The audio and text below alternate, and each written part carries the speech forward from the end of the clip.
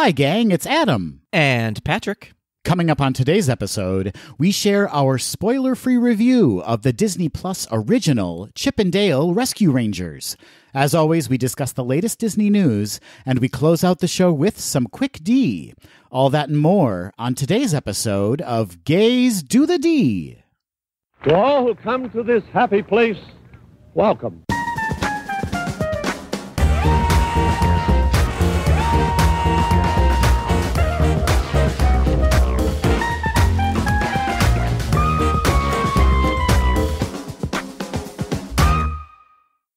Patrick Nkazaki. we are two people. We are two people living in this mind. That is for sure. Adam Gumshoe Hummel. Two people? Mm, there's more. There's more, but two are available at any given moment.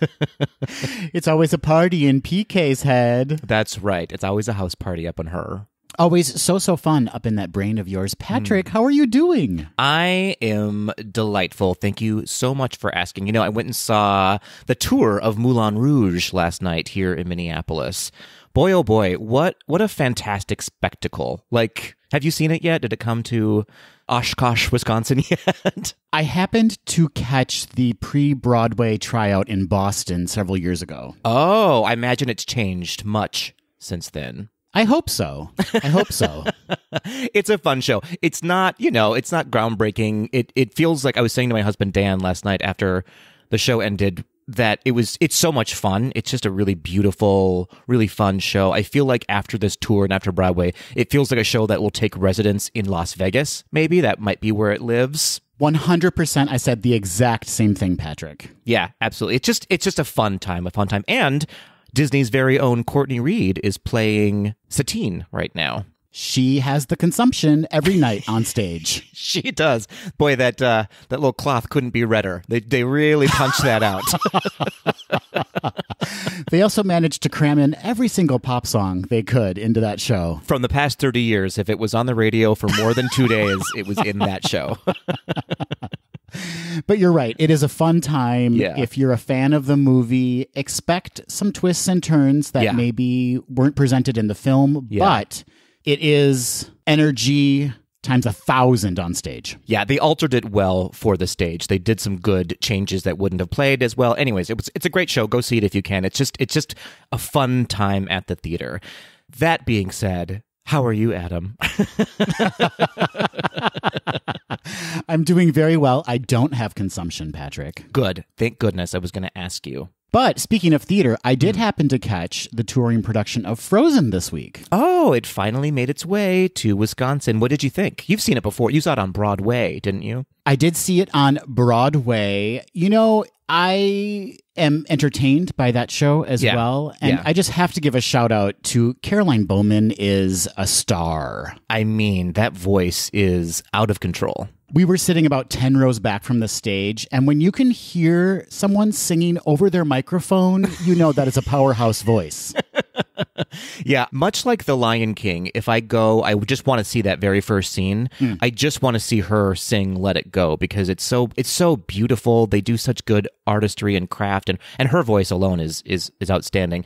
But the rest of the show yeah i would agree. It's it's it is a lovely show. It's a lovely show. The first act is much stronger than the second. We've talked about this on the podcast, but we man, those first few numbers give you goosebumps. They are so fantastic. Yeah. And obviously Let It Go is such a moment, but there were choices made that maybe aren't as successful as the movie.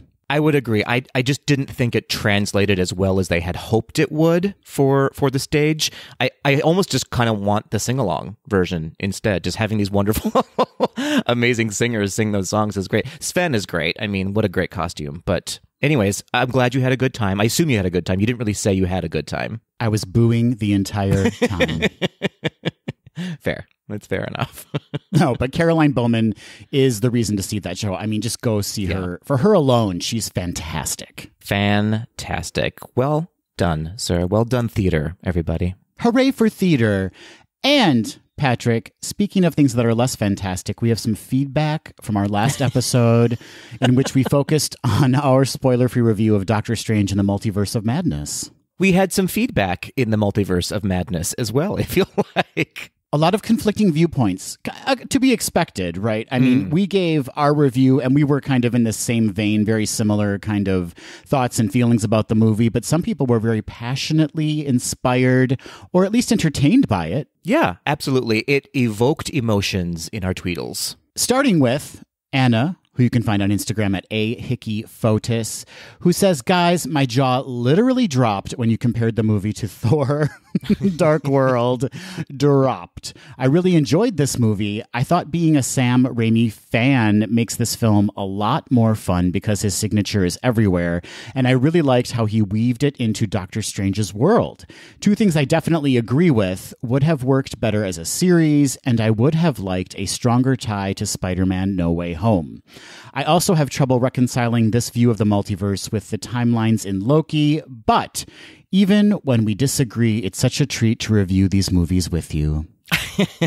what a great sentiment. And, and we should say, new Patreon family member, Anna. Anna, thank you so much. We really appreciate your support. We appreciate your support and your opinions when they align with ours. Yeah, can you work on that, please? Next time, can you just praise us for our thoughts and opinions as opposed to going against our viewpoints? Just one or two sentences more, maybe to to front load it with compliments and then give some critiques. Maybe that's let's work on that. But it is a good point. I am not a big fan of Sam Raimi as a director. Just just not my cup of tea, and so thus I just did not like this movie very much. So if you are a fan of that director, it makes absolute sense that you would love this movie. Makes total sense, yeah. Indeed. Well, let's move on, Adam, to Michael, who writes in from Instagram at underscore Mikey likes it. Michael says, couldn't agree more. The story lacked emotional connection, and I left wanting to better understand Wanda's journey. I too found myself taking a bathroom break.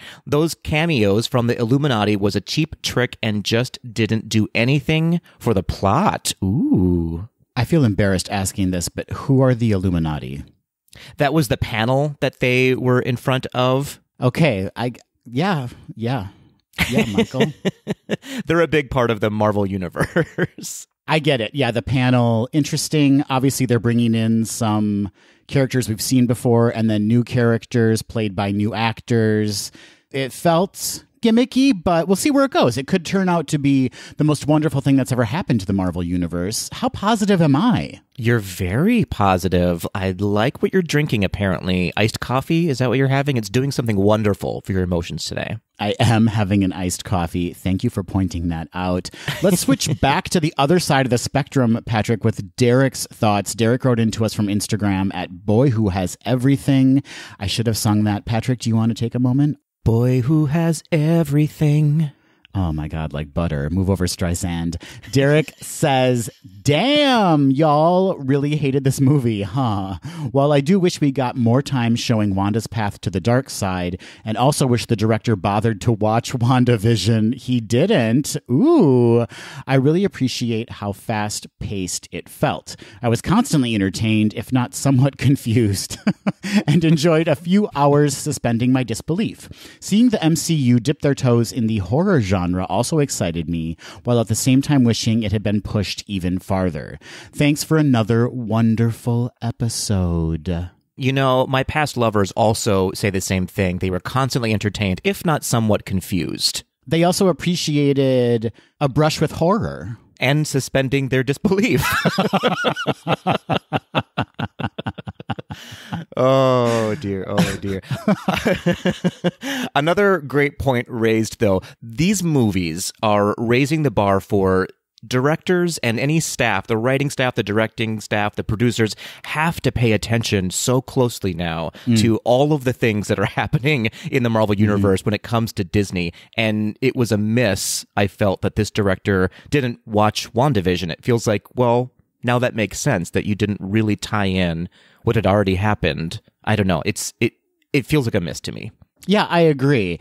It felt messy, that transition between WandaVision and then seeing Wanda in this film. There just wasn't enough connected to that experience or kind of like shepherding us into that experience. Like she was just mm. like evil right out of the gate. Right. These movies can't be standalones anymore because we as an audience already know too much. But at the same time, like maybe we should petition for more standalone films to be made. Like maybe we're just getting too mixed up. Like maybe things need to be separated out a bit so that we're not constantly looking for like loopholes or mistakes or you know maybe the case can be made for more standalone films that we can just enjoy on their own. Agreed, agreed. Spider Man No Way Home is a good example. That felt like a hmm. really nice standalone film that was all about Spider Man. Whereas Doctor Strange, I can see, kind of needs to tie in all of the worlds because of his power. Yeah, no, I get it. I get why they did it, Patrick. It's just kind of messy. Fair, fair enough. Well, let's move on. Last but not least, we have Chris from Instagram at Chris underscore coming underscore through. Chris says, Hey guys, I totally agree. I found this movie underwhelming. The prosthetic work on Zombie Strange was a bit cringe. I also feel like all of Scarlet Witch's character growth from WandaVision kind of got thrown out. She went from regretful and coming to terms with Vision's death to a straight up murderer question mark. Also, felt bad for Rachel McAdams because she had nothing to do in this movie. I'm hoping to make it to Gay Days this year. Ooh, hope all is well. See you on the next podcast. Very, very toothy smiley emoji. So descriptive. I loved that. it's real toothy. Yeah, these are great points, Chris. I mean, the fact that you agree with us, obviously, we're going to dive right into this.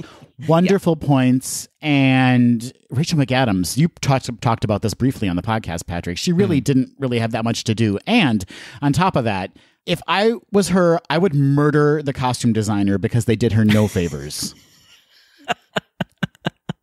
Yeah, I listen. We we both we've we've beaten this horse to death. The the art direction behind this movie was not where we wanted it to be, and the Rachel McAdams of it all was not where we wanted her to be. No, unfortunately not. Well, thank you everybody Yes. for your wonderful viewpoints, even when you disagree with us. All joking aside, we love hearing from you because it really does make us take a step back and consider our own kind of opinions and question our taste level. Hmm. Hmm. hmm hmm Listen, I don't. I don't question my taste level. I know where I am. I. I. I see myself for me, but I appreciate all of the other opinions that are out there. Yes, thank you. Should we just stick with Marvel while we're talking about Marvel, Patrick? Ooh, let's do. I like where you're going with this. Last week, the trailer for She Hulk Attorney at Law premiered. It's coming to Disney Plus in a nine episode series that starts on August 17th. Patrick, share your thoughts on this new superhero coming to the MCU. I'll say this first of all. I'm in love with the title because it already tells me all I need to know that this is mm-hmm. going to be a little bit cheesy, a little bit Yeah. fun, a little bit bonkers, a little bit retrospective of all these weird, you know, SVI, SCI, I don't know the acronyms anymore. But it looks really fun. And then the trailer dropped and and I was not I was not disappointed. I think it's going to be exactly where I thought it was going to be. I can't remember the actress's name, but she already has a really good comic timing mm. and just from the trailer alone. So I think I think I'm going to be in love with this show. You are speaking of Tatiana Maslany. I am. I am indeed. What are your thoughts, Adam? I sound like a broken record at this point, but you know, Marvel exploring other genres, right? Now we're getting a series that's presenting superheroes, but also a romantic comedy, which I love romantic comedies. So uh, Yeah. this feels kind of like a great match for me in the sense that it has comedy, it has romance, and it also has a great little angle in Jennifer Walters as an attorney, kind of focusing on superhero law. Mm-hmm. It feels like a good mixture of these different genres that you and I really both kind of cling to, and and it feels like it's going to be a nice wink to Ally McBeal. to Alan McBeal to to sort of a, a sarcastic crowd, if you will. Yeah, we want that wink. We need that wink. And also, we have a stacked cast. We've got Mark hmm. Ruffalo as Bruce Banner. He's going to be in all nine episodes, which is really great. And then just a blink and you miss it appearance in the trailer, but Tim Roth returning as Abomination. Yeah, interesting. I'm interested to see where that goes. So overall, it sounds like we're excited for this one. Again, it is going to premiere on Disney Plus on August 17th. So keep an eye out, folks, and uh, let us know what you think about the trailer as well. Well, moving on, Adam, coming up before August 17th. This June, we want to remind all of our Tweedles out there that Enchanted Pride is coming up. What's Enchanted Pride, you may ask? I'll tell you right now. It is going to be a, a social mixer, a gathering, a cocktail hour, if you will, hosted by yours truly, that's me from Gays Do the D, and Chris from Wishful Thinking. We are hosting a evening at Splitsville Luxury Lanes on June 3rd of this year during Gay Days from 5 o'clock to 8 o'clock p.m. All of the proceeds from that evening are going to go to Equality Florida. That's Equality Florida doing the work to help all of our LGBTQ plus, I would say, battered upon lately Tweedles out there. Yes, Equality Florida is doing wonderful work to hopefully abolish Florida's Don't Say Gay law. So, if you are free and you're planning to attend gay days, please, please consider purchasing a ticket. They're only $20, Patrick, and that money goes straight to Equality Florida. That's right, absolutely. And what does $20 get you? It gets you in the door, absolutely. It gets you a chance to win many, many prizes. I, I got a glimpse at some of the prizes that we are going to be offering that evening, and, and I'll tell you what, they are top notch. There's a lot of them. You will almost be guaranteed to win your money back in prizes that evening. It's going to be a really fun night. We do, in fact, have a representative from Equality Florida who is going to be there to uh, answer your questions, to mingle amongst you, and hopefully educate you on what's going on in Florida right now. You can purchase tickets. Tickets are still available by going to gaysdothed.com and clicking on Enchanted Pride, or head on over to wishfulthinking.com. That's wishful-thinking.com com where you can purchase your tickets.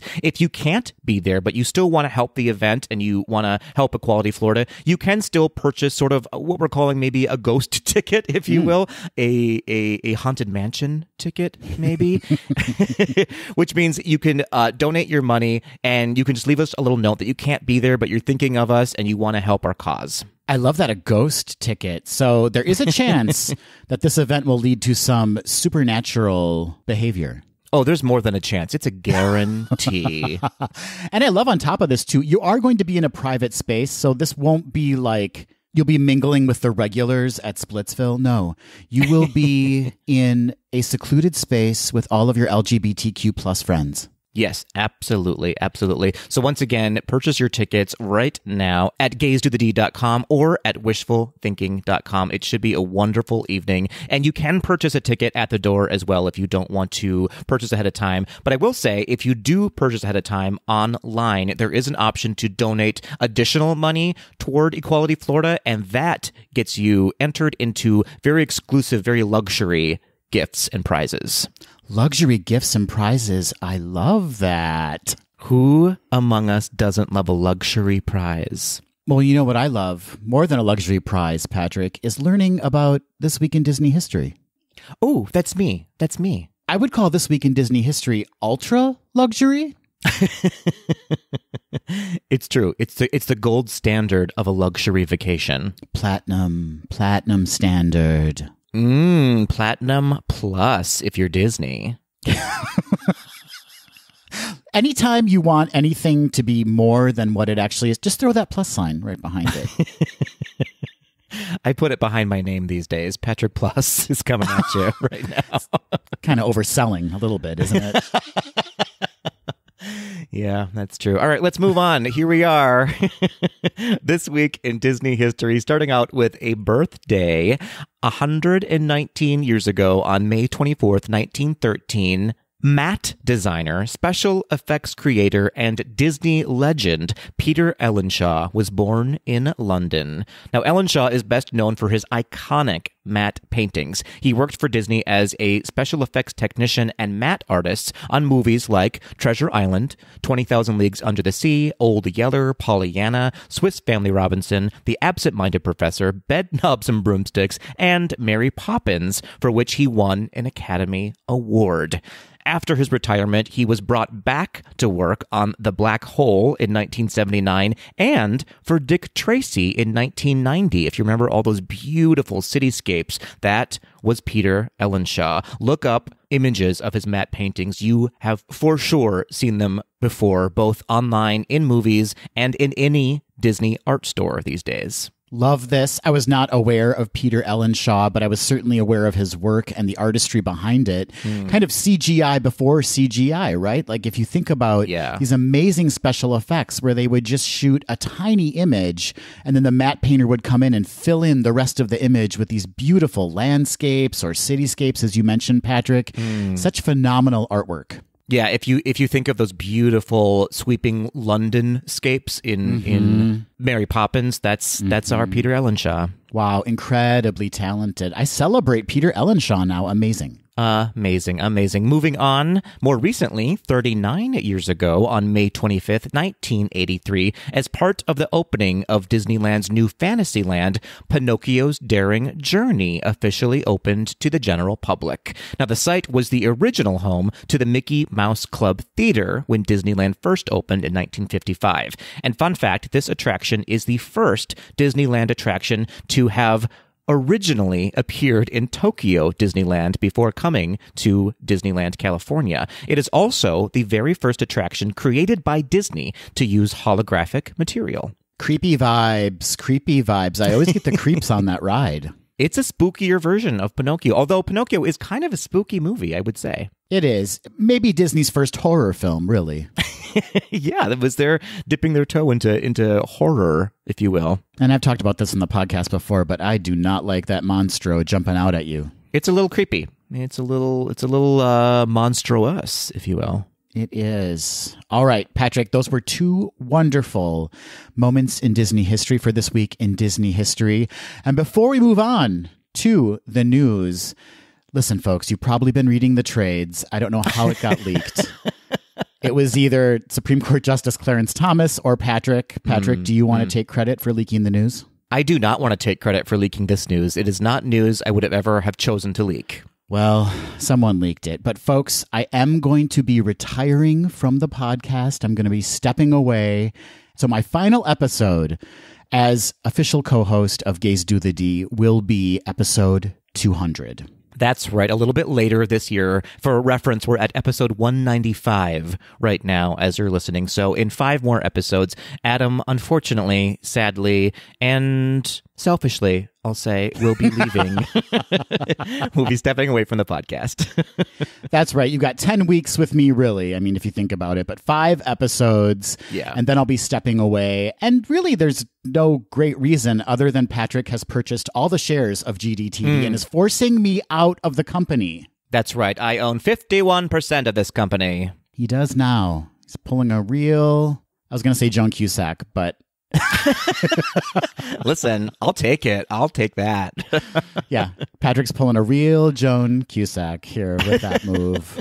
no, but in all seriousness, I'm going to be focusing on my house, which, as all of you probably know, it's an older house that I purchased last year, and I'm really excited to do some renovations on it that we've already started on, which is very exciting. And I'm just going to be spending some more time with my family and friends and my other various podcasts.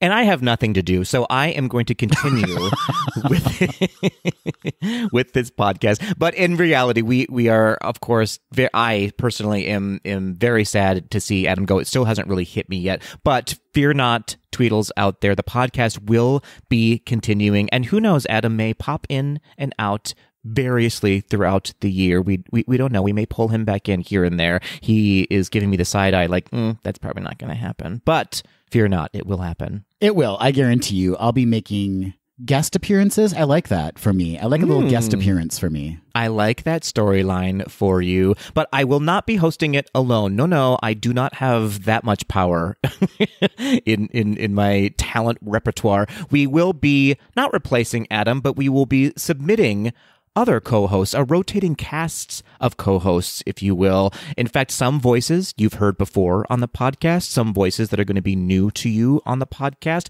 but we're very excited about the selected co-hosts that we've chosen. They're going to be starting their reign here on, on Gays Do the D along with me in a rotating fashion, as I said, the episode after Adam leaves us. So episode 201 will be the first time you'll have a brand new episode. We're going to keep the format as it is. Don't worry about that. Unless you don't like it, let us know. We can make some changes. Now's the time. But we will still be here for you. We're going to give you as much entertainment as you can handle here on Gays Do the D. I love this. I love this kind of rotating cast of co-hosts because it'll just bring more diverse Disney voices to Yes. the podcast and more differing opinions and you know, people are sick of me at this point. They know what I can deliver, mm, but let's hear let's hear some new voices. Yeah, absolutely, absolutely. That who knows? Maybe sometimes I won't be here for an episode, and it will just be our other hosts that are joining us for Gays of the D. We are confident that you're going to fall in love with them the way that we have fallen in love with them, and we're excited to uh, bring them on to the show. We will announce their names a little bit later on. We're not going to do that right now, but. All that being said, we will of course miss you here on the podcast, Adam. All the Tweedles, I know I can speak on behalf of them. You are the force behind the reason we even started this podcast. Oh my god, Patrick's crying right now everybody. That is absolutely not true. I am excited to finally have my voice heard around here. There will be plenty of time for official goodbyes in episode 200. So in the meantime, Yes. we're just going to keep chugging along and producing the real quality Disney content you've come to expect when you listen to Gays Do the D. I'm laughing because we don't have an ounce of quality in us. We have we have equality, but we don't have quality. Speaking of lack of quality, Patrick, should we head into the news? Ooh, let's fumble the news, won't we? We will. We will.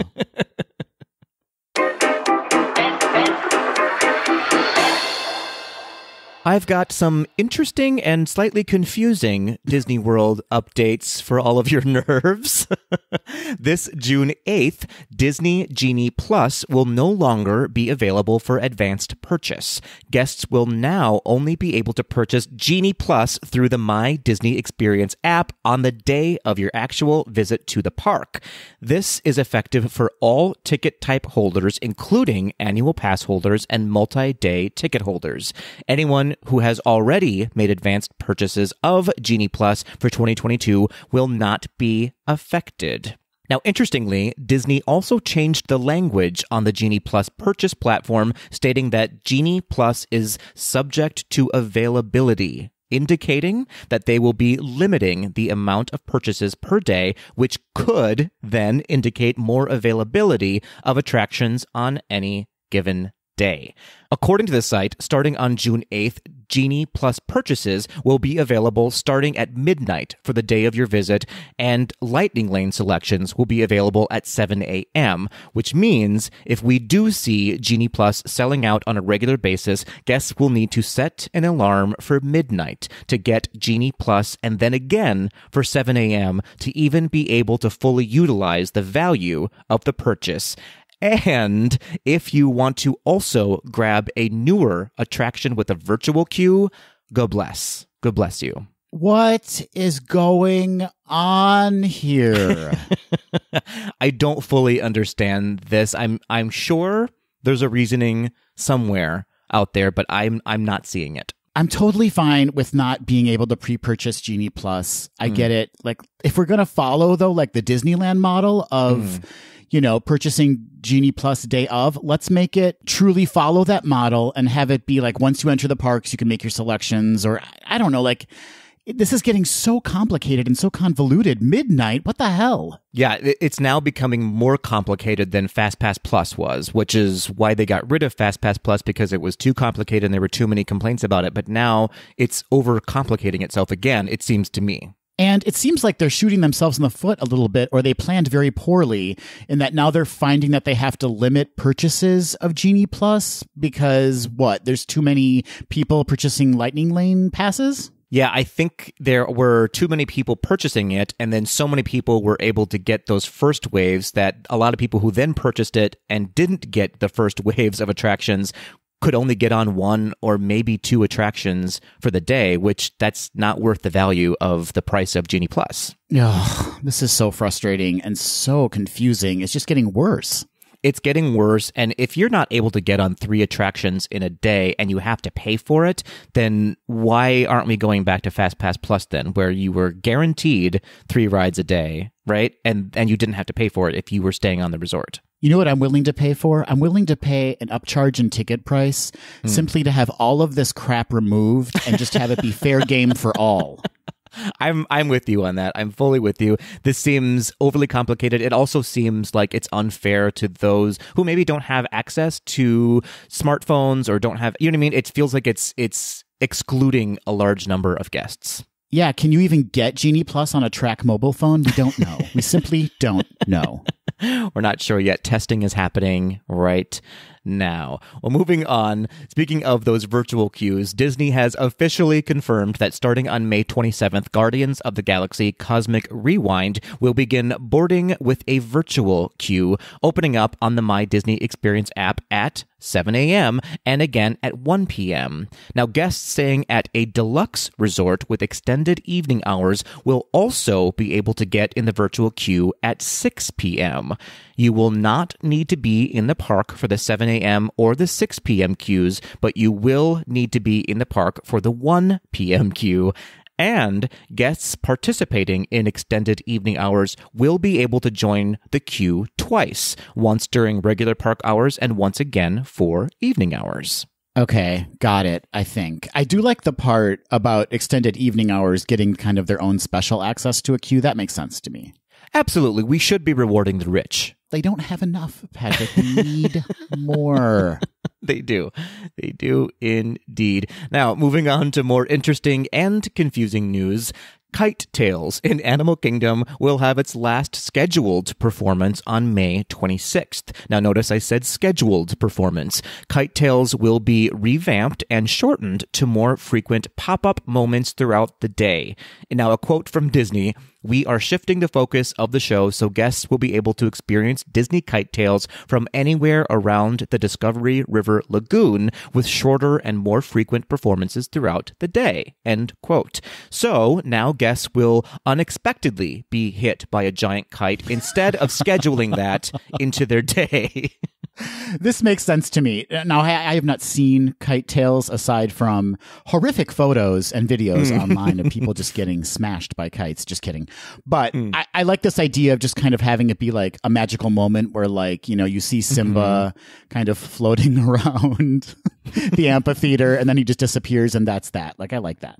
Yeah, yeah, I'm not mad at this, and we we we foretold this happening, right? I think it's just a slower death than we thought it would be for Kite Tales. For Kite Tales or for the people getting hit by the kites? Yes, and yes, yes, to both on that one. and now, rounding out this story, finally, you will once again be able to get your hair did in the Magic Kingdom. Starting on July 31st, the Harmony Barbershop on Main Street, USA, will once again open its doors to anyone in need of feeling a little itchy for the rest of their day. and it has been announced that the Bibbidi Bobbidi Boutique will also open its doors later this year. Very exciting. I've always wanted to pop into that barber shop and I never have. And I just imagine it being a chart of cuts and you just point to one that you want and that's what you get.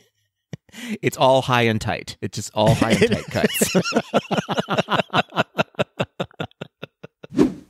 Last week, in a post on Disney Parks blog by Global Marketing Senior Vice President and member of the LGBTQIA plus community, Lisa Beckett, Disney announced the launch of their annual Rainbow merch collection. This year, however, with the company still reeling from backlash by queer activists after a lack of public opposition to Florida's Don't Say Gay bill, back when it was a bill, and the growing criticism from right wing lawmakers and conservative groups over the company's eventual denunciation of the bill and law, Disney has noted that their rainbow merchandise collection will henceforth be known as their Disney Pride Collection. The Disney Pride Collection has been dreamed up and designed by members and allies of the community for members and allies of the community. And this year, Disney will be donating all of its profits from the Disney Pride Collection sales now through June 30th, 2022 to organizations that support LGBTQIA plus youth and families. This includes merchandise from Disney, Pixar, Marvel, and Star Wars. In the U.S., profits from the collection will benefit GLSEN, P Flag, The Trevor Project, Zebra Coalition, the Los Angeles LGBT Center, the LGBTQ Center of Orange County, the San Francisco LGBT Center, and the Ali Forney Center. Profits from other regions around the world will continue to support local charities in those countries. You can learn more about these organizations and their incredible, impactful work by visiting twdcpridecollection.com.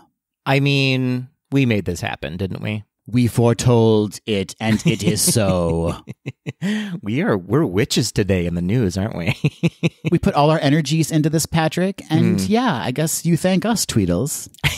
You're welcome. You're welcome so much. No, this is great. This is the right decision through and through. It's it's literally the least they could do right now, I think, but it is a big step in the right direction. I hope it's a wild success. I hope it completely sells out. And I hope they extend this. Mm-hmm. Like, why not mm-hmm. always be bringing out new rainbow merch? It doesn't just have to be limited to June. Excuse me, Adam, new Pride merch. I'm just not comfortable with it yet, Patrick. I I'll get there. I will get there. you're you're at the maybe I'll say gay stage right now. It's really just my own internal homophobia, Patrick, but I'll get past it. You're whispering gay right now. gay. Just in time for summer, the rhinos in Animal Kingdom are working on their fitness. That's right. Some of the rhinos on the safari in Animal Kingdom have been fit with step trackers, much like a Fitbit. The activity trackers will help the animal care experts learn more about their activity levels throughout the day and exactly when they start to settle in for the evening. The trackers are able to determine whether the rhinos are walking, running, or lying around, and it will better help them understand their napping and sleeping schedules. The tracker is also able to locate exactly where the rhinos are to better determine where they prefer to spend most of their time, allowing the experts to update their habitat to suit the rhinos' needs.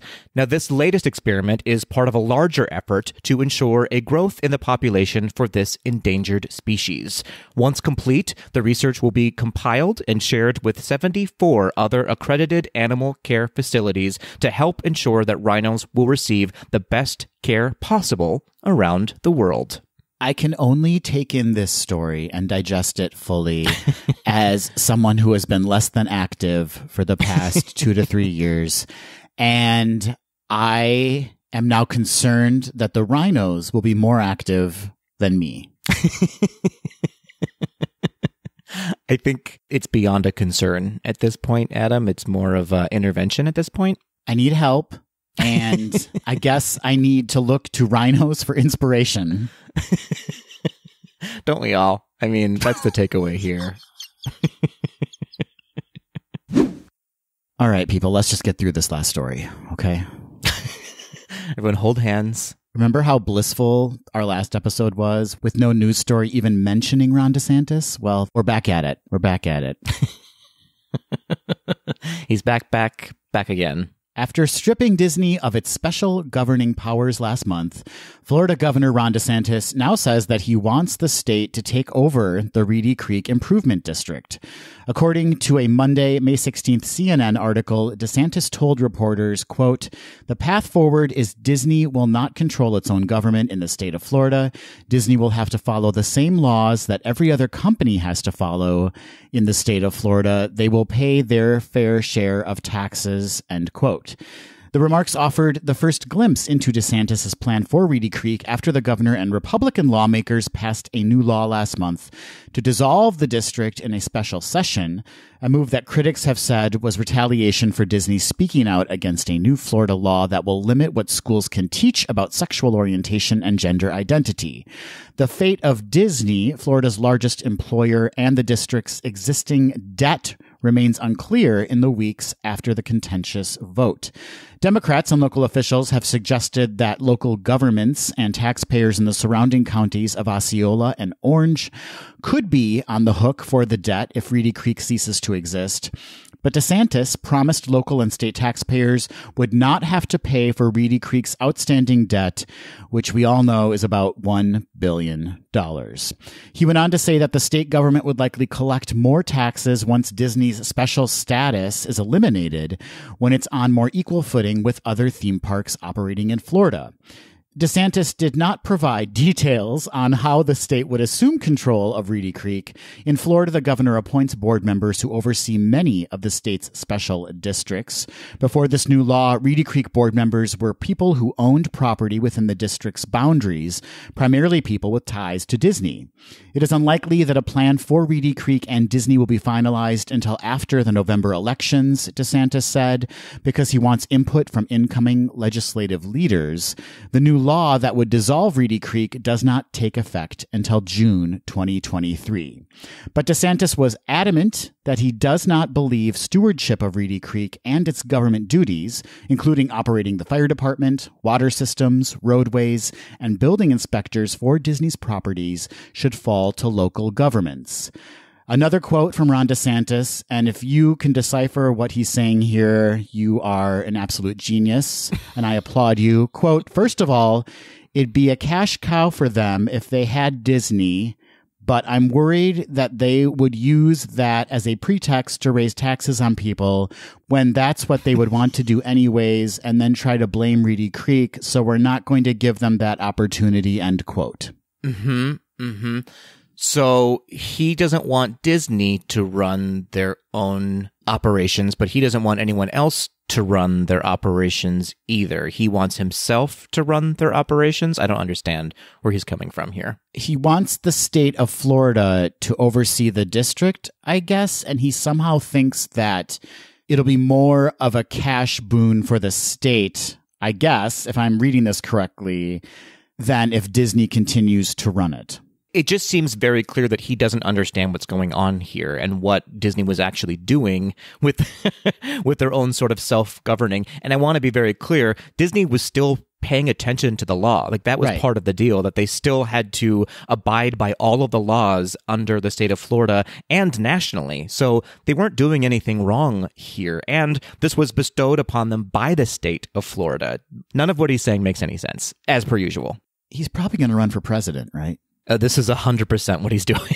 I mean, there's no there's no two ways about that. We're going to have to listen to this in debates.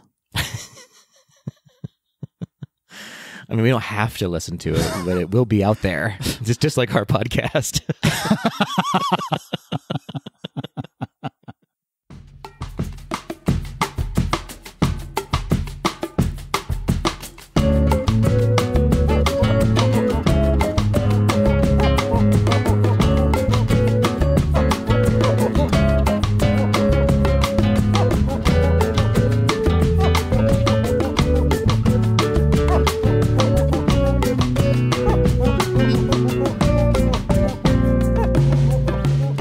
Trilogies, Patrick. Trilogies are often a sign of a successful franchise.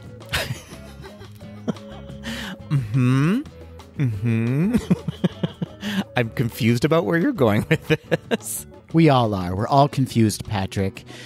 Oftentimes, the first movie may be great. The second movie may also be great, but maybe falter a little bit. The third movie may not be as great. But you know what? Hollywood wants that money. And we are following that model, Patrick, by hmm. concluding our trilogy of reviews on this podcast. Yes, if you recall, Tweedles, way back when we started with Better Nate Than Ever, then in our last episode, we focused on Doctor Strange and the Multiverse of Madness, and we are closing out our trilogy of episodes featuring reviews with Chip and Dale Rescue Rangers. For a hot second, I won't lie to you, for a hot second, I was like, oh, did I watch the wrong movie? Did you? We'll find out. We don't know. Did you? we, we will find out. We will find out. a Disney Plus original that both Patrick and I have been looking forward to and hmm. was created by the funny, funny people behind The Lonely Island, that great comedy group. And on top of all of that, Patrick, we have a reboot of a very successful animated series from, well, definitely your childhood, not necessarily mine, but yours. I mean, you're not that much older than I am, Adam, but you you mean that you just didn't watch it when you were younger. I guess it was less about my age and more about my family's complete poverty and that we did not have the Disney Channel. Got it. Fair, fair enough. Yeah, this wasn't necessarily uh, in your line of sight while you were growing up, whereas for me, I was obsessed with Chip 'n Dale's Rescue Rangers. Yeah, I just missed that window. I don't know what happened. In fact, I'm not even sure I've seen an episode, Patrick. Oh, interesting. They are all on Disney Plus right now. Interestingly, it is a three season show, but they are on Disney Plus as one full season of, I think, like 45 episodes. I don't know why they laid it out that way. That is curious. What's going on over there? Not really sure. But yeah, I was, as a youngster, and still today, I will say, a huge fan of the full Disney Afternoon lineup, including Chip 'n Dale's Rescue Rangers. And as I mentioned, the Disney Plus original is now available on Disney Plus. So if you've had a chance to check it out, sit back, relax, and listen to our spoiler free review. But if you haven't, again, it is a spoiler free review, so we will not be ruining any major plot points for you. I hope. Who knows? Did I ruin the Scarlet Witch in Doctor Strange? Probably. I mean, I mentioned that she was the villain, and that probably ruined it for some people. Well, if they've never seen the poster, then yeah, you ruined it. But if they've seen the poster, then you did not ruin it. In my opinion, doesn't matter. The movie ruined itself. Plus, I like a little element of danger in every spoiler free review we have, right? Like, are they going to spoil hmm. something? Are they not? Who knows? Well, this one feels a little bit more of a, a, safer territory, if you will, in that it's Chip 'n Dale's Rescue Rangers. It's just a good, fun movie. There are some twists and turns here and there. We're not going to give those away, but we are going to talk about some things we loved about the movie, some things maybe we didn't really like about the movie, and just our general opinion about the movie at large or at small because they're chipmunks. They're so, so tiny. IMDb summarizes the plot of the film as 30 years after their popular television show ended, chipmunks Chip and Dale live very different lives. When a cast member from the original series mysteriously disappears, the pair must reunite to save their friend. That's a succinct little description there, I would say. No spoilers there. I love it. No spoilers there, absolutely. Well, let's start out, Adam. Just a general overall opinion of the movie. I believe we both watched it yesterday, probably, or early this morning. I'm not sure. I did give it a watch yesterday. I liked it overall. Like I said, I mm-hmm. didn't have a connection to Chip and Dale growing up, aside from like the very older comedy shorts that they were in, the cartoon shorts, like Pluto's Christmas Tree, stuff like that. So I, I guess what I should be saying is I didn't have a connection to Rescue Rangers. But mm. overall, I like this. I thought maybe the gags were more prominent than the story itself. Does that make sense? Hmm Yeah, absolutely, and and not surprising given the writing staff, the directing, and the lead characters in the movie, the lead voice actors in the movie. This was full of their type of comedy. Absolutely. But overall, it was enjoyable. It was a fun little adventure. I liked the kind of take, the meta take on them being actors, Chip 'n Dale who were in Rescue Rangers. Like, I like that concept. hmm And it was fun how the creative team kind of peppered in various characters from Disney and now Fox that Disney owns. Like, there were nonstop pop up appearances by various characters. Yeah, Easter eggs galore. This is the movie that you could watch over and over again and see something new in the background every single viewing. How did you feel about it overall? Well, this movie I feel like was absolutely geared toward someone like me, toward hmm. my age range, and toward someone who was a big fan of Chip 'n Dale's Rescue Rangers. It was a love letter to that show and a love letter to all of the fans of that show. I feel like they didn't stray away from it. They didn't make too much fun of it. They just sort of celebrated Chip 'n Dale's Rescue Rangers and the Disney afternoon in general and just that genre in general and pushing it toward where we are now in life and and giving it comedy that meets us on our level right now. I would say this is maybe not necessarily a movie that kids are going to understand or fully mm-hmm. appreciate as much as the adults who watch that show will, but I do think that they'll enjoy it. Yeah, I was thinking about that too, Patrick. How would kids respond to this who maybe had not been introduced to Chip and Dale Rescue Rangers yet? Mm-hmm. Or even Chip and Dale for that matter. Like, you know, were they aware of these characters? And if they weren't, was this story engrossing enough for them? Did it give them enough to like latch on to and appreciate as little kids? Yeah, it's interesting because for all intent and purposes, this is quote unquote a children's movie, right? It's it's a Chip and Dale movie, which is generally geared towards children. But I, I got the impression that this was hundred percent written for people in their mid to late thirties and forties who grew up with Disney Afternoon. Uh, and it, like I said, it was a love letter to that generation. Yeah, I get that. And I think that may be where I had a bit of an issue with it. Issue isn't the right word, but like mm. it just seemed to want to walk a fine line of like trying to be safe enough to appeal to children, right? Mm-hmm, but then mm-hmm. also cater to those that grew up with the series and are now adults. Mm-hmm. And I guess I was looking for more of an edge on that side of the line. Like, I just wanted a little bit more of a bite to the comedy. Like, not things that would be inappropriate for the kids, but just mm-hmm. things that would absolutely go over the heads of children, but we'd be more of a wink to the adults. Yeah, for sure. Uh, but I, I did actually find those moments. I mean, for goodness sake, there was a quote very early on in the movie where, who is it? Dale says, I'm into nuts. And it yeah. was so funny. It was it was very clearly a joke written for adults, right? That kids wouldn't understand. And and so I, I did actually find those moments that that played both sides of the uh, of the aisle, if you will. That was funny enough for a kid and they didn't understand, but had enough of an innuendo for an adult that you're like, oh, that's funny for a very different reason. Yeah, I guess. I mean, there was a nuts joke. Yeah. In like the first 13 seconds of the movie, I feel like. Well, let's talk about the creative team behind the film, Patrick. It was directed by Akiva Schaffer, who is part of the Lonely Island comedy group, which I've already mentioned, Patrick, as is Andy Samberg, who voiced Dale in this movie. Yes, absolutely. Very, very funny writer. I, I love his humor. He is prolific, I feel like, in his humor. He's just very on on the nose right now, or not on the nose, on the pulse of like humor that's going on today. And speaking of the writers, we had two writers on the project Dan Gregor and Doug Mand. Dan Gregor was a writer on the series Crazy Ex Girlfriend and also on the series How I Met Your Mother. And Doug Mand wrote the 2020 flop, we can call it a flop, Dolittle, starring Robert Downey Jr., and was also a writer on the series How I Met Your Mother. He was also a writer on Crazy Ex Girlfriend as well, I should say.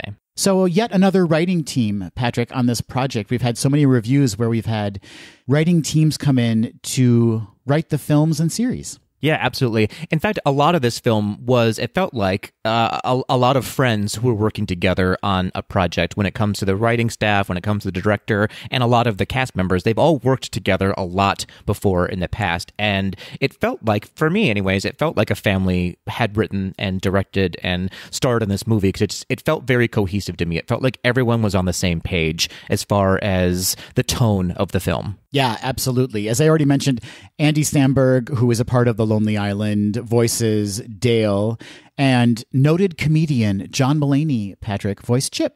I really, I really enjoyed both of them. I, in the past, John Mulaney, I've been on a journey with John Mulaney. When he yeah. first came out as a comedian, didn't so much latch on to him. He felt like just sort of a privileged white man doing comedy for me. Yeah, that just like yeah. the take I had on him. But the more I got to know his story and the more he's evolved as a comedian, as a performer, I actually really like him now. Yeah, he's become a much more complex human being as we've kind of learned the details of his personal life. And yeah. I think it's kind of softened me to him more, knowing that he struggles just like the rest of us, Patrick.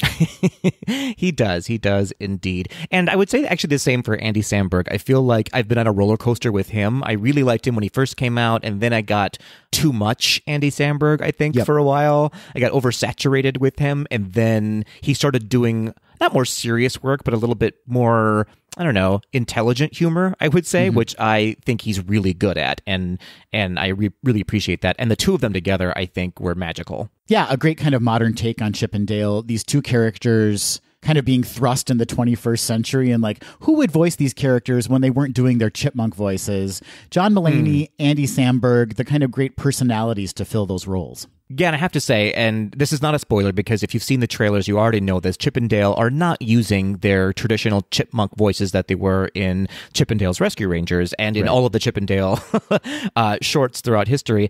And they they wrapped up that very nicely, very quickly, in that they are animated actors in an animated television show. And so they have their regular voice and then their actor Chip 'n Dale voices. And I appreciated that, that they just, they didn't harp on it too much, but they gave us a movie where it wasn't going to be annoying to hear these chipmunk voices throughout the entire film. Yeah, that would have been rough. That would have been rough to take for a feature length film. Right, exactly. And so I think I think it was very clever the way they approached that and the way they handled that. You mentioned the fact that they were chipmunk actors in an animated series. Mm. Let's expand upon that a little bit because the world of this film is so unique in that it is humans, animated characters, anthropomorphic objects, all ex- mm-hmm. coexisting, right? So it's like essentially a world where the real and surreal and like the lines between animated and traditional film, so to speak, are blurred. There's no separation between animation and real life. Right. And I have to believe that they took that inspiration from Who Framed Roger Rabbit, right? In fact, they gave a nod, a very delightful nod to Roger Rabbit, the character himself in this movie. And it, it sort of expands upon that idea, right? It takes that idea and blows it up into a, a different storyline, basically. And also then utilizing the technology that has since been developed since Who Framed Roger Rabbit. So not only do we have traditional 2D animation, but we have an exploration and a lot of jokes about 3D animation or CGI. Yeah, absolutely. And in that, it sort of takes where Who Framed Roger Rabbit left off and then keeps going, right? And so any animation that happened since then is now included in this world as well. It's almost its its own universe then that we're all living in here. A pretty prominent cast aside from the two leads. We have a lot of famous performers coming in to voice some pretty substantial characters in the film some we've kind of come to know as voice actors and some kind of making their very first foray into voice acting and doing a wonderful job of it. Yeah, absolutely. And a lot of really heavy hitters as well who are playing very minor parts. It's almost as though they were like, hey, can I be included somewhere somehow in this movie? And, and they just tagged along for the fun of it. Who were some standouts for you, Patrick? Whose performances did you really enjoy? I have to say, I really laughed super loud when I heard Dennis Haysbert's voice as Zipper. It was it was so funny and it was so for the adults in the room because if you don't know who Dennis Haysbert is, you absolutely do. He played the president on the TV show 24 for uh, 24 years it feels like. And his his voice is so is so distinct and so amazing and having him play the real voice of Zipper was was such a treat. Was such a treat. Very funny moment when we come to know that Zipper who's a fly, right, Patrick? Mm-hmm. Yeah. A tiny little fly has the magnificent bass of Dennis Haysbert. so so funny so so funny i also really loved i always loved j.k simmons i i have a crush on j.k simmons i want him in every single movie he plays uh, the, the captain of the police force basically captain putty in sort of a nod to a gumby like character yeah, and I failed to mention that there's also stop motion animation included in this film, so it really is a celebration mm-hmm. of all different forms of animation. It really is, yeah. Black and white, color, sepia tone, like everything. Everything is represented animation wise in this movie. We also have Eric Bana voicing Monterey Jack, who obviously did not voice Monterey Jack in the animated series. He did not, but he did a great job. It was a really good impression, actually, of Monterey Jack. I'm glad that they didn't steer away from his voice because his voice wasn't necessarily cartoony, quote unquote, in mm-hmm. in the animated film. It was just sort of a, a fun Australian accent, and so he was a, a great choice for that. An interesting choice because it's Eric Bana. I feel like they could have kind of had anybody in, in there, but he did a great job. Yeah, I wonder if he's either like a friend of the creative team or someone on the creative team, or if like mm. he's expressed how big of a fan of Rescue Rangers he was, and so it was just yeah. like a natural choice to bring him on board. Could be, could be, and of course we have Will Arnett. Like, I mean, he is in every animated thing that's ever been created yeah. these days, playing yeah. Sweet Pete in in the film. I would, I just love his voice. I just, I, I think it's so fun. He he he knows what he has with his instrument, and he doesn't mm-hmm. usually veer too far away from it, and he doesn't need to because it always is correct in the characters that he plays. What I really liked about his vocal performance in this film was that he didn't lean in so heavily to using his like lower register all of the time. Like, yeah, there's the traditional yeah. like Will Arnett graveliness behind it, but he was actually modulating it more or like using more of his upper register a lot of the time, which is something we don't normally hear from him. Like I feel like normally we just hear the Batman, the Lego Batman, you know, super low whisper. Sure. But this time we actually got to hear more variation in his performance. Yeah, that's a good point. That's a good point. I just I just love his voice. It's still very distinctly Will Arnett's voice, but uh, it's just and he does a great job. And he's just such a funny person. His comic timing is always on point for me. Just to mention a few of the other vocal performances, names you definitely know Keegan Michael Key, Flula Borg, Seth Rogen voices characters in this film. Tress MacNeille, I mean, longtime animation vocal artist, Tress MacNeille performs in this film. So they have some really wonderful first timers and then kind of long standing vocal actors in the cast. Yeah, absolutely. And we should mention Tress MacNeille is reprising her role as Gadget the only original cast member to return to do a voice from Rescue Rangers, right? That's a good question because Jim Cummings is also in this movie, but I I wasn't quite sure if he was doing voiceover of original episodes of Chip 'n Dale Rescue Rangers or uh-huh. if they were just reusing his voice from Chip 'n Dale Rescue Rangers. But he was also doing other voices throughout the film as well. So it's hard to know.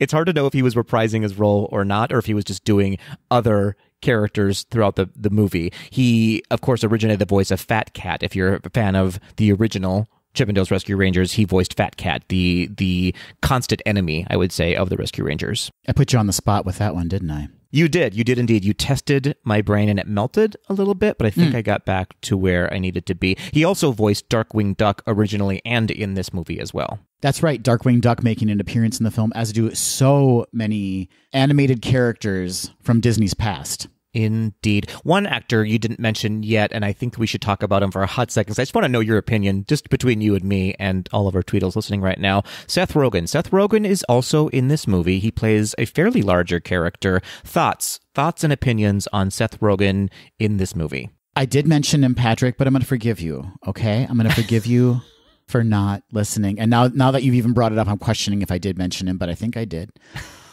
um, listen, Seth Rogen's fine. Like I like Seth Rogen. It's hard for me to separate Seth Rogen from let me let me rephrase that.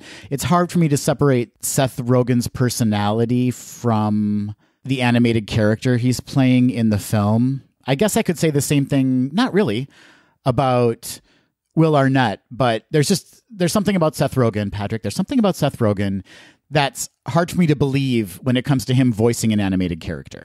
Yeah, I think that's where I am as well. It almost feels like he's not trying very hard. It's it's almost like do you know what I mean? It's almost like there's like just say these words as though Seth Rogen would say them. And so it feels I don't know, it it feels cheap and easy to me, if that makes sense. Well, he's high out of his mind, Patrick. I mean, let's just. hey, I don't listen. That's a, I don't, that aside. I, who can care? But I just I don't enjoy the performance of it. I, I feel like it's not a performance, if that makes sense. It feels like he's just they're just catching his voice as he's talking, as opposed to him playing an actual character, which to me, I don't know. It doesn't feel like he's on the same level as everyone else working their butts off in this movie. Yeah, he's a man who knows his brand, and his brand is slouchy, laid back, and I think he may be unwilling to expend any more energy than that in his artistic endeavors when it comes to voicing an animated character. And hey, jokes on us. He's he's got all the money in the world. He really does. He really does. So we talked about all these animated characters and the people voicing them, but there is one prominent actor featured in the film who is human and plays a major role in the film, and that's KiKi Layne, who portrays the role of Ellie, a kind of upstart detective in the police department. Yes, yes, indeed. The beautiful KiKi Layne, I should say. And actually, I, I'm torn about her in this movie, I have to say, in yeah. that I actually really like KiKi Layne. I've seen her in wonderful performances. She she was in Coming to America 2, she was in Native Son, she was in If Beale Street Could Talk. She she's a good actress and I don't know that working with CGI and animation yeah. was her bag. Yeah, maybe this wasn't her genre. It just came off a little bit stilted, or maybe she wasn't getting enough from whatever actor she was acting against, if there wasn't even an actor there. I just don't know, but it didn't mm. read as her enjoying the experience that much. Like it just felt like she was a little stagnant. I would say that. I would also say, I, I will say that she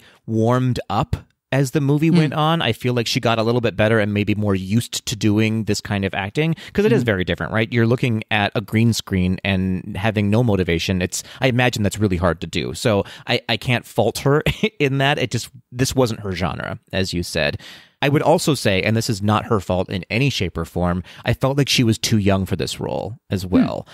If this is a character who we're supposed to believe watched Chip 'n Dale Rescue Rangers as a youngster on VHS tapes, which was part uh. of the plot, ah. plot line, she is not old enough to to have done that, I feel like. That's a great point. I didn't even think about that. And, and on top of that, too, she doesn't have a lot of experience with comedy, or at least not that I'm aware of. So that may have mm. been also kind of something that just wasn't as attainable for her as an actor. Like maybe that just isn't her thing, or I don't know. They're just it was a little off. It was a little off. Yeah, that's that's a good way to put it. I I celebrate KiKi Layne. I really do like her, but I just this was not for me a good fit for her. Agreed. We look forward to your future projects, Kiki. we do. We do indeed. So it sounds like, if I'm hearing this correctly, and I don't want to put words in your mouth, Patrick, but I, I hmm. think you may have enjoyed the movie a bit more than I did based on your relationship with the original animated series, Chip 'n Dale Rescue Rangers. And you seem to enjoy the comedy a bit more too. It seemed to hit you better than it did me. I think so. And and I, I was wondering this as I was watching it. I was because I knew that you really hadn't seen it much, if at all, mm-hmm. the original cartoon Rescue Rangers. And it did strike me as this is, as I said in the beginning of this review, this is absolutely a movie geared toward people who know this show and mm-hmm. who are going to pick up on all of the Easter eggs and on a lot of the plot lines. There were there were some storylines where I was like, oh, I remember that. This is a callback to a storyline from the original show that if you mm-hmm. hadn't seen it, you are not going to know that at all it didn't hurt the story as much, but it but it also I can see from your point of view how it just wouldn't have emotionally latched on to you, whereas it, it did very much for me. Yeah, I actually have to give them credit for kind of setting up those plot lines from the animated series pretty well. Like like I said, mm. I I had not watched the animated series, but I thought they did a good job of like showing the old clips or referencing that this happened in episode so and so, you know. So mm that was pretty well set up for me as someone who didn't watch mm-hmm. the animated series. Where I kind of faulted it more was that it just was too bombarding for me with like bits and appearances from animated characters from Disney's past and then bringing in new animated characters like J.K. Simmons' character, Captain Putty, who was, as we mentioned, a reference to Gumby.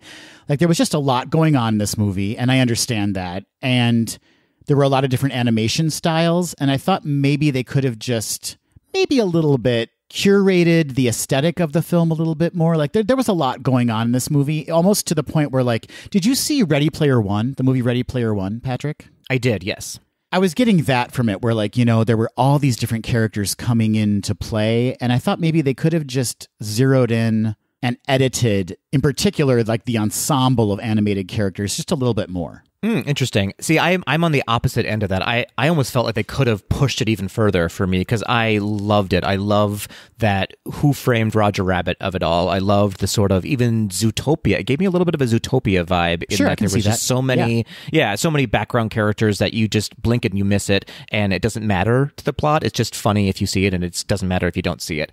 So I actually kind of wanted them to to keep running with that, and and I would appreciate another movie out of it too. I think that it's a fun genre and I think it is an interesting exploration. Um, and like I said, I just I keep going back to this, but it is such a testament to how strongly the Disney afternoon lineup lives in so many people. And I attached myself to this movie right away. It almost it, I didn't get like emotional about it, but it gave me the warm fuzzies mm-hmm. immediately. Mm-hmm. I totally believe that anyone who had any kind of attachment to that afternoon lineup would be all in mm-hmm. on this movie. Like the nostalgia factor alone is like at a hundred. Oh yeah, absolutely. I'm such a nerd in that there is uh, a little bit of a plot line, and this is not giving anything away necessarily, uh, where they sort of explore this Dale character of Double O Dale, kind of. Yeah. And there is an actual episode of Chip 'n Dale's Rescue Rangers called Double O Chipmunks, where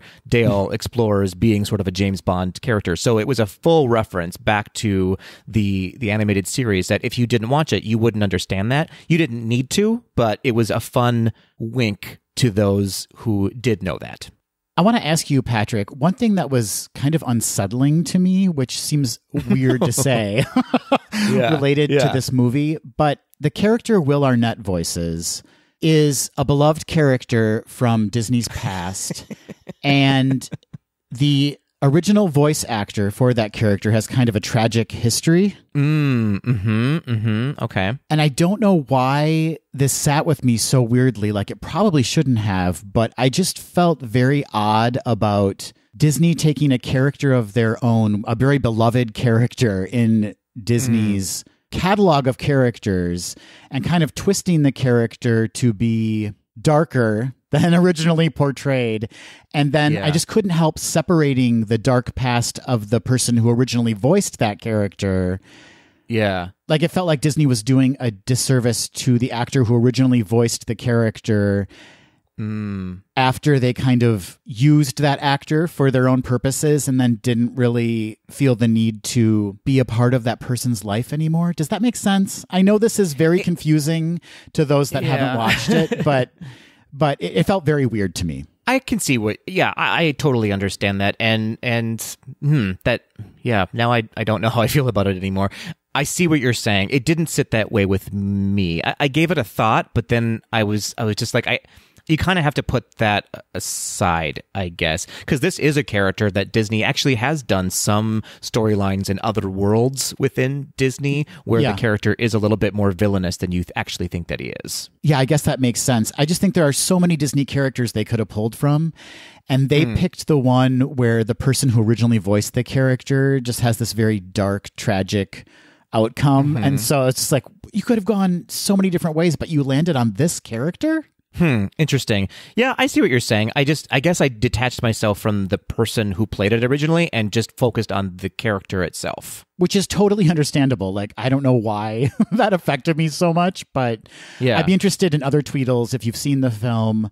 Let me know if that clicked for you at all, or maybe it didn't. Like, maybe I'm just like the lone wolf in this situation, but it was just very odd. But it could be just my weird brain. No, I mean I, I totally well, yeah, fair fair enough. I do I I fully I fully see what you're saying. I just I I guess it just didn't it hit me the way it hit you that way. Regardless, Chip and Dale, hmm. Rescue Rangers, a reboot? Question mark. Do you think we'll be seeing more from this team of comedy writers, creators?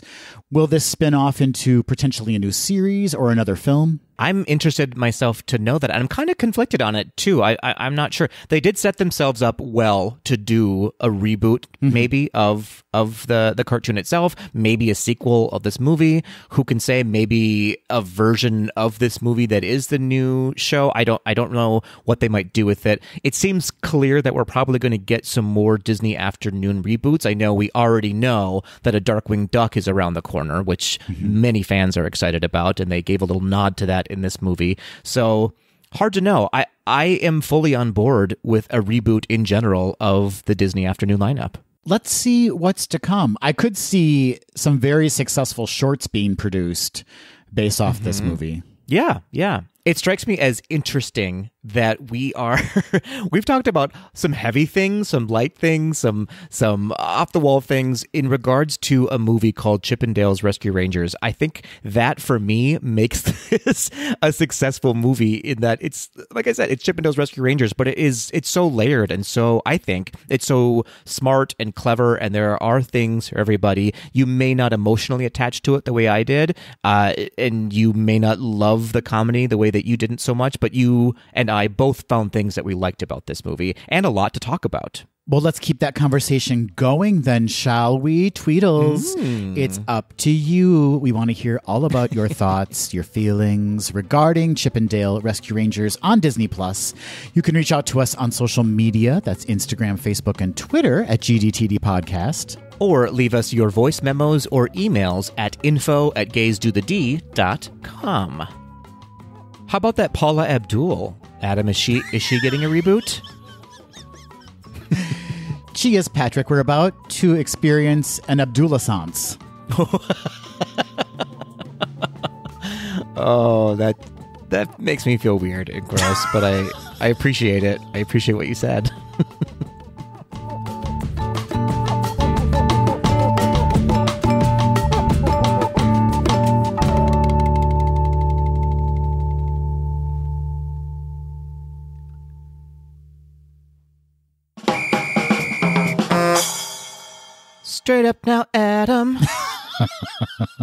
had to keep the Abdullah Sans going.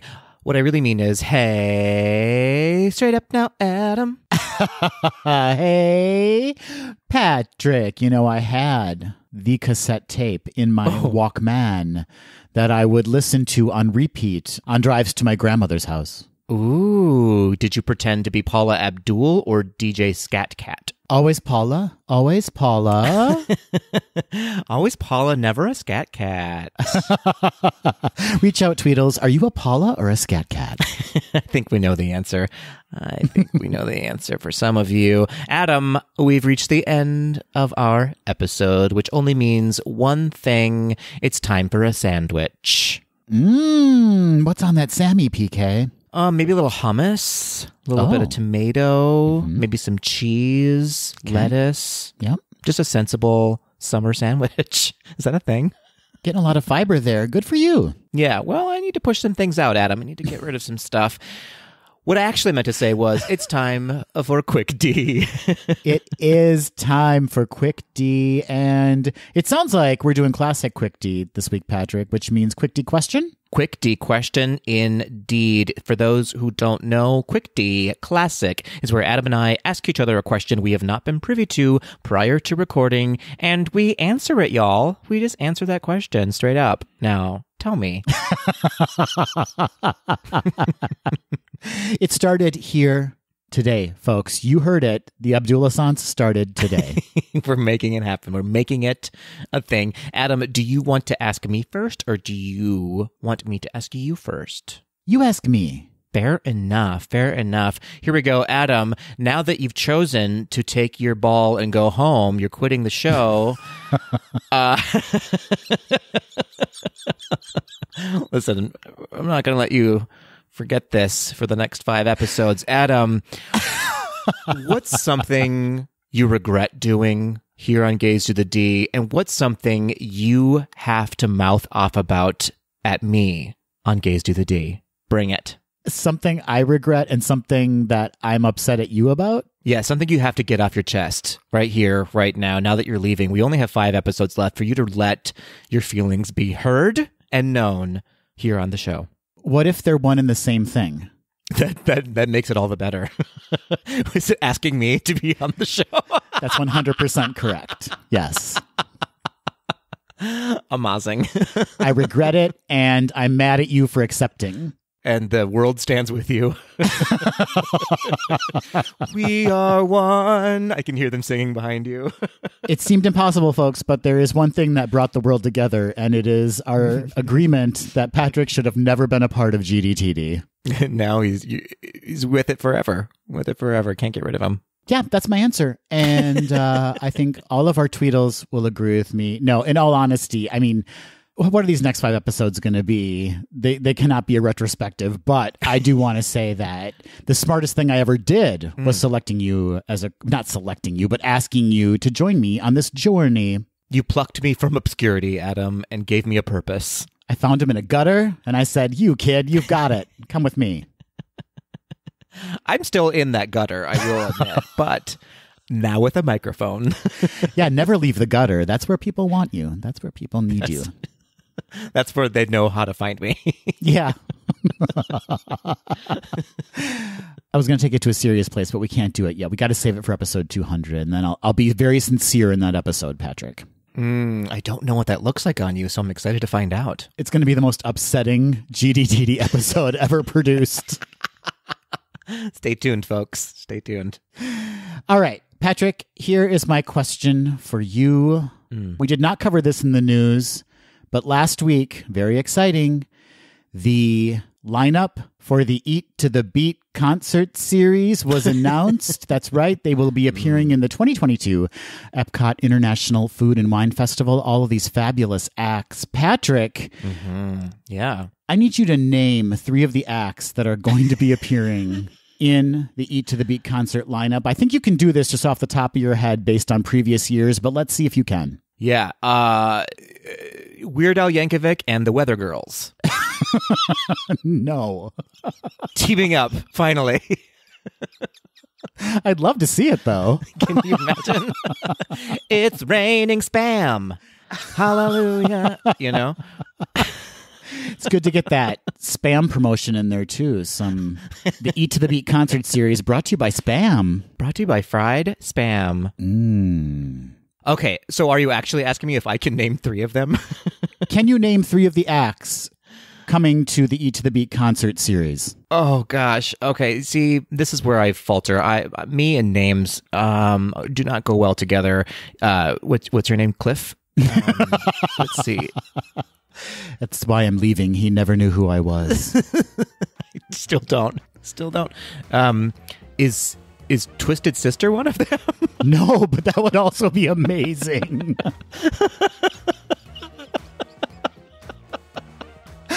okay. Okay. Um Amy Grant is Amy Grant performing this year? no, but that seems like it would be a good fit. Amy Grant, maybe next year. doesn't it just wow you'd think i i hosted a podcast but i clearly not the case um we've talked about this for the past three years and it's the same people every year uh, um guns and roses guns and roses is one of them your your Eat to the Beat concert series is truly amazing. Like I want that to be real. with new lead singer mandy moore